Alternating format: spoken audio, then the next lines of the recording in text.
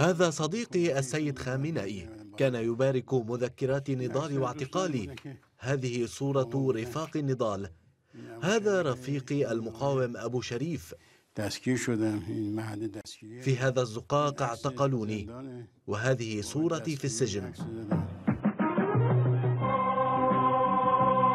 منذ النكبة ومشاعر العداء لإسرائيل تنمو بقوة في نفوس الإيرانيين إلا أن نكسة 67 شكلت نقطة تحول لديهم. عزت شاهي المقاتل الثوري الذي أحرق العلم الإسرائيلي نصرة لفلسطين قبل الثورة الإسلامية.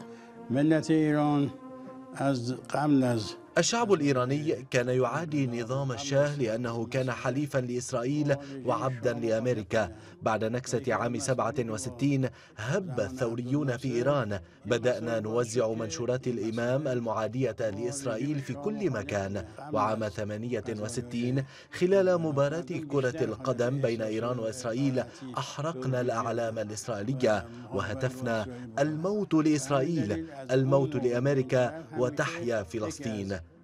كنت أول من صنع العبوات الناسفة وفجرت بالمولوتوف شركة العالي الإسرائيلية للطيران. بسبب دعمي لفلسطين أصابني سافاك بسبع رصاصات اعتقلوني مرات عديدة ولكنني تمكنت من الفرار. تعرضت في السجن لأقصى أنواع التعذيب من قبل سافاك ولكنني لم أعترف بشيء. فقط اعترفت بأنني وزعت منشورات الإمام الخميني المعادية لإسرائيل والداعمة لفلسطين. لأجل ذلك حكموا علي بالسجن خمسة عشر عاما.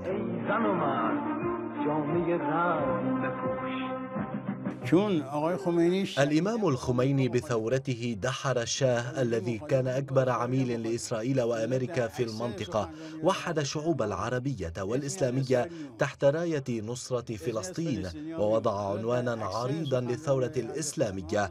فلسطين هي القضية الأولى.